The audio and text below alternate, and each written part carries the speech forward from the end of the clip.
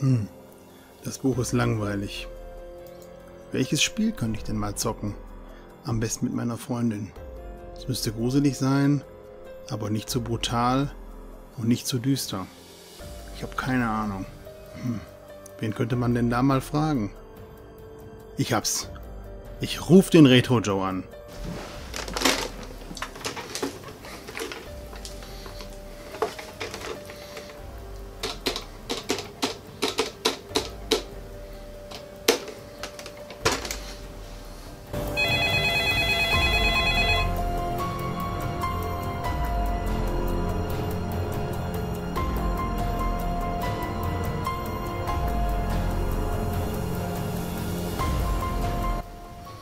Ja, Joe? Der Christoph hier, grüß dich. Du, Joe, ich habe mal eine Frage. Welches Spiel könnte ich denn mit meiner Frau mal an Halloween spielen? Es muss spannend sein, es muss gruselig sein, aber es darf nicht zu brutal sein. Hast du da vielleicht eine Idee?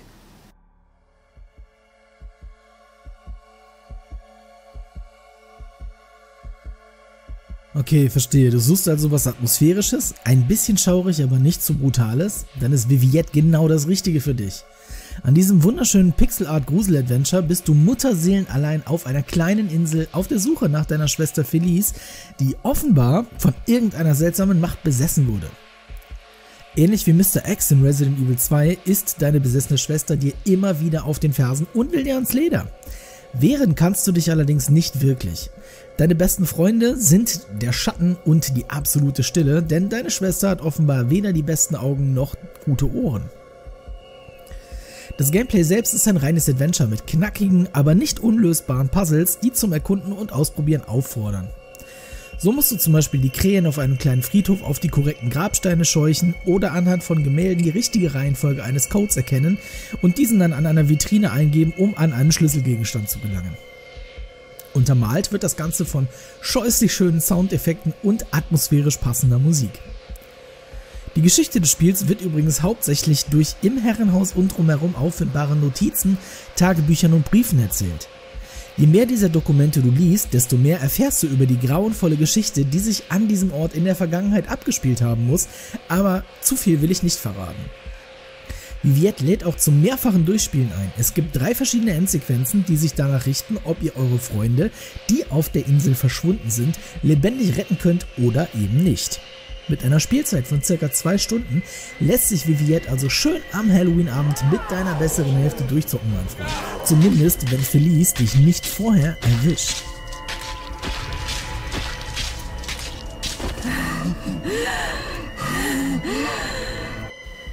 Hm.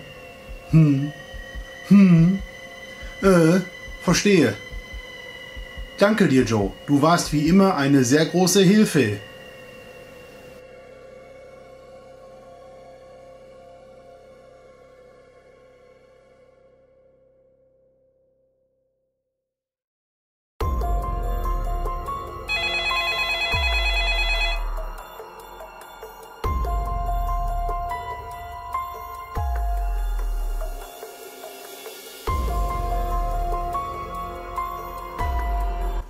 Ja, hallo Joe, grüß dich.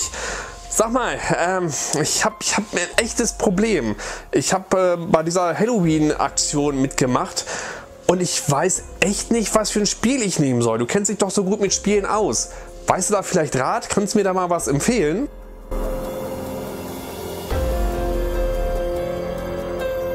Das ist eigentlich eine ganz coole Aktion. Game Engine hat das gestartet und äh, da schließen sich viele YouTuber zusammen, machen halt irgendein Spiel zum passend zu Halloween. Soll natürlich dann irgendwie etwas Gruseliges sein oder sowas in der Art, nehme ich mal an. Ne?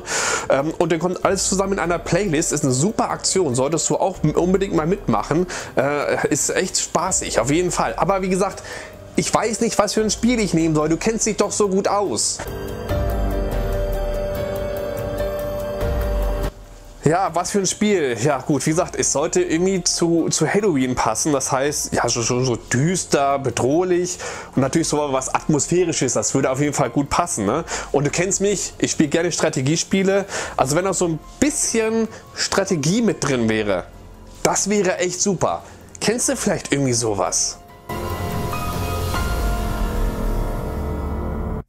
Darkest Dungeon ist im Herzen ein waschechtes Strategierollenspiel mit einer Menge interessanter Spielmechaniken. Das Ganze passt aufgrund des düsteren gotischen Settings, der gruseligen Atmosphäre und des abgefahrenen Monsterdesigns meiner Meinung nach bestens zu Halloween.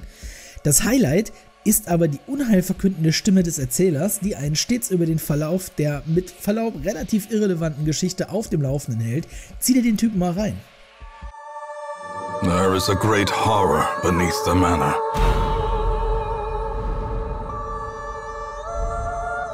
A crawling chaos that must be destroyed. The task ahead is terrible.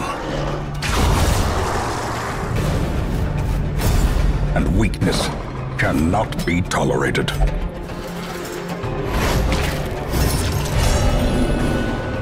My obsession caused this great foulness. Now, like me, You are a part of this place.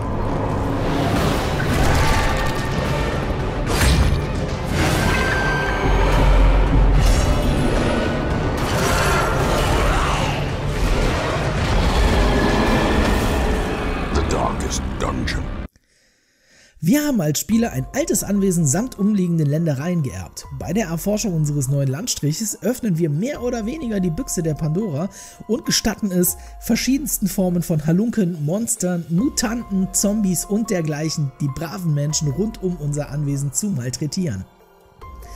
Das können wir natürlich nicht auf uns sitzen lassen, also heuern wir tapfere Recken verschiedenster Herkunft und Fähigkeiten an, um die finsteren Kerker, Höhlen, Katakomben und dergleichen unter unserem neuen Wohnsitz von dem schrecklichen Getier zu reinigen. 16 verschiedene Heldenklassen stehen uns dabei zur Auswahl und können in den Baracken rekrutiert werden.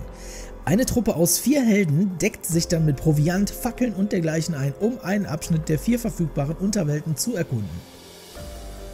Auf dem Weg durch die düsteren Hallen sind es jedoch nicht immer nur die Kreaturen der Finsternis, die eure waffenstarrenden Kämpfer in den Wahnsinn treiben, denn auch die mentale Kraft wird auf harte Proben gestellt. Auf Deutsch heißt das Ganze, nicht nur eure Lebensenergie sinkt bei jedem Angriff, Faktoren wie Dunkelheit, Fallen, hinterlistige Angriffe oder unterwegs gefundene Leichenteile wirken Stress auf eure Recken aus. Wird die psychische Belastung zu groß, kann dies fatale Folgen haben. Zum Beispiel die Entwicklung einer Phobie gegen eine bestimmte Gegnerart oder die Dunkelheit an sich. In der Stadt habt ihr die Möglichkeit, solche Unarten gegen Gold wieder zu entfernen und den Stress eurer Gruppe in der Schenke oder der Kirche zu lindern. Stirbt einer eurer Charaktere, ist er auch tot und ihr müsst neue Helden anlocken. Dazu gibt es ein ausgetüfteltes Item-System. Jedes Trinket hat sowohl positive als auch negative Eigenschaften, die euch im rundenbasierten und sehr taktischen Kampf helfen oder euch behindern. Beispielsweise findet ihr eine Armschiene, die eure Geschwindigkeit erhöht, dafür aber euren Schaden reduziert. So könnt ihr zwar besser ausweichen, richtet aber nicht so viel Schaden an. Zum Kampf selbst sei gesagt, es gibt eine große Anzahl an Faktoren, die über Sieg oder Niederlage entscheiden. Habt ihr die richtige Gruppenkonstellation für den Dungeon gewählt? Figuren mit Blutungseffekten helfen zum Beispiel nichts gegen Skelette. Giftattacken auf der anderen Seite sind unnütz gegen die Schweinemenschen, da diese deutlich stärkere Resistenzen gegen Gift haben. Außerdem spielt die Reihenfolge eurer Fighter eine gewichtige Rolle, da manche Attacken nur an bestimmten Positionen in dieser Viererkette ausgeführt werden können. Darkest Dungeon ist absolut eine Empfehlung für jeden Strategie- und oder Rollenspiel-Fan, der sich mit diesem gotischen Setting irgendwie identifizieren kann. Das Spiel ist nicht unbedingt neu, es gibt es für alle gängigen Plattformen, ursprünglich released für den PC, inzwischen aber auch erhältlich für PlayStation 4, Xbox One und die Nintendo Switch und ich glaube sogar für die PlayStation Vita. Wer auch immer Bock auf Halloween-reife Strategie-Horror-Action hat, dem kann ich Darkest Dungeon wirklich nur wärmstens empfehlen. Ja, Ey das, ey, das klingt echt cool. Das ziehe ich mir mal rein. Danke, Joe, wie immer. Und ich wünsche dir noch einen schönen Tag. Tschüss.